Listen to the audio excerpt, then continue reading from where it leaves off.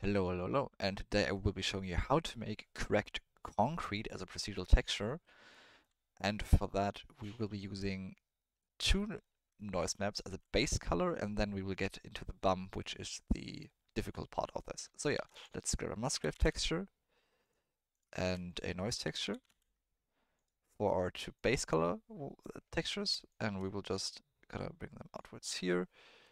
And we will want a scale of 4.2 here. Let's it as well. 4.2 max the detail 0.2 scale. And then for the texture, we want a scale of 5, max detail, roughness of 7.5, and we're just gonna mix them together. And now we, we will use a color ramp, put this here, and we will use a gray and a slightly softer gray as our base color. So we can just plug this into here, preview it. The roughness of uh, should be 0.85. And now the rest we will be doing is adding bump nodes.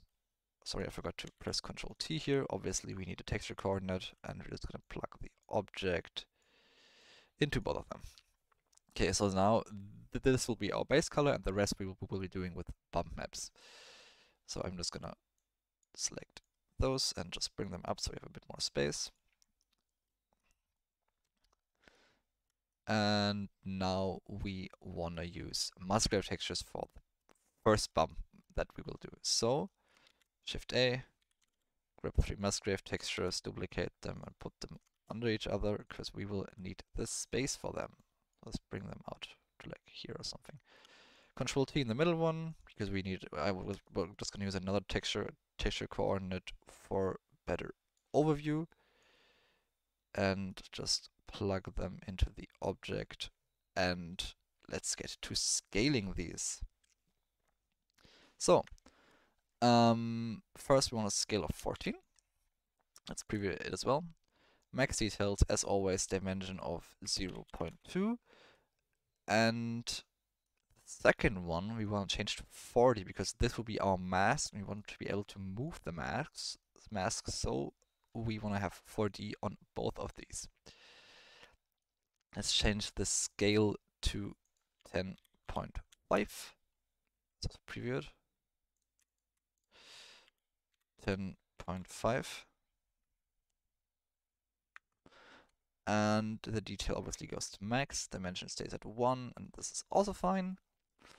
We can move this W value to like about 2. I just found that these values of 1.5 and 2 work great for patterns, but you can also obviously change these W values how you see fit in your project. Change the scale to 4. Let's read it again. Max the, max the detail, as always, and the dimension goes down to 1. This goes also down to 1, okay. Um, so let's get some color ramps into here because now we wanna because this has pretty washed out colors. Like th there's a lot of in uh, uh, uh, a lot of blacks in between our whites, and we don't want that. So let's plug in a color ramp here and just drag this closer to here, and we should have a way way cleaner thing. So let's just select these two then and press Ctrl 0 to mix them. And we want to change this mix to darken and factor 1 to 0, uh, um, up to 1. So now you can see we are getting some black spots and this is where basically our mask will come into play. And we will do this a second time to have even more of those black black spots. And now we have a pretty cool mask which we will then use to create our bump map. Now, let's get in our bump nodes. We will need three of those, so just plug them into normal and just duplicate it three times. And we will grab the noise texture, plug this into the first one, into the height, preview it. This is way too much, so let's put this down to 0.1 or 0.2. And we can take this darken and plug it into the second one. And now you can see we have some nice craters here. We have some we ha we have some flat parts like you do in concrete, and and we have some just very very rough ground, which is nice, but I think there is still some detail missing, which we will now get to. For this, we will use a Voronoi texture as a base, because you want some longer cut lines. And let's change this to distance to edge. And let's preview it. Put this to 7. But this doesn't really look cool, so we'll, we'll use a noise map to randomize the vector. Press Ctrl T, press Ctrl T again, and plug in the object into the vector. And change the scale to 1, details to max, roughness to 0.55, uh, distortion to 0.2. And now, now you can say we have some pretty cool just cracks. But obviously we don't want them all over the place, so what we will do is we will get in a color ramp and create a second mask. Just bring this into here so that we have less like just random dis disturbance all over. Just bring this up to here or something. And then we will grab Musgrave textures again, two of them. But uh, we will use two of the same, we'll just use the W value to move them a bit.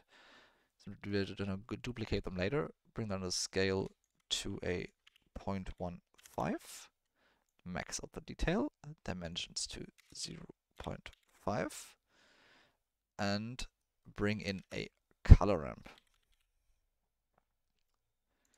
Put this here, bring this closer, something like this is pretty cool, and then duplicate this Musgrave texture. Again, object into vector, duplicate this color ramp, height into vector, and just set this W value to like 4 or something. So, so, so that it's moved a lot. Now, we want to select those two. Control 0, change these to lighten, and then factor of 1, and do it again with this. And with this, we have our mask for our cracks. As you can see, we have cracks at some places, but not, but not at all places. So just bring this color into our height map, uh, into our bump map, into the height thing, and let's preview it. And this looks like pretty cool cracked concrete. You can obviously add more details or just um, add more variety to this if you see fit, but I think just judging by my test objects, this looks pretty cool and it's definitely possible as concrete. So yeah, I hope you enjoyed the tutorial and I uh, hope I could help you, um, some of you, and I hope to see you next time. Bye bye.